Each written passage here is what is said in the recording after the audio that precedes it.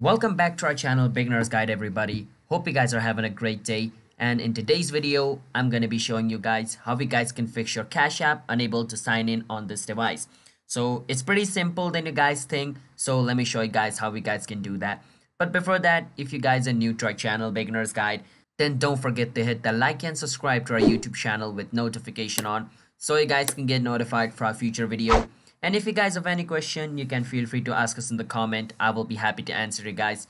And let's jump into the video. So the first step is you want to check if your Cash App is up to date. Sometimes this problem occurs due to like your Cash App being out of date. That's why you're, you know, facing this problem. So make sure to check your Cash App is up to date or not. And after you check your Cash App is up to date and it is up to date and you're still facing the problem, then what you need to do is you want to go on your phone setting, all right?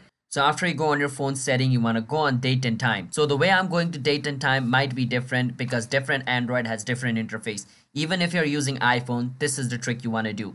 Once you come over here, turn off automatic date and time and turn it on again. And after you do that, you want to open your Cash App again. Once you do that, it should open up. And if it still doesn't opens up, you want to come back to this setting page and and you want to you know turn off your automatic time zone as well and click on select time zone. And from over here you want to choose Los Angeles. You want to choose Los Angeles over here. And after it's set to Los Angeles you just want to go back. You open your cash app and it should open up. So yeah that's how we guys can fix your cash app unable to sign in on this device. And last option is just delete your cash app reinstall it. And once you do that just you know restart your mobile again. It should work. So hope you guys understand. Don't forget to hit the like and subscribe. Bye bye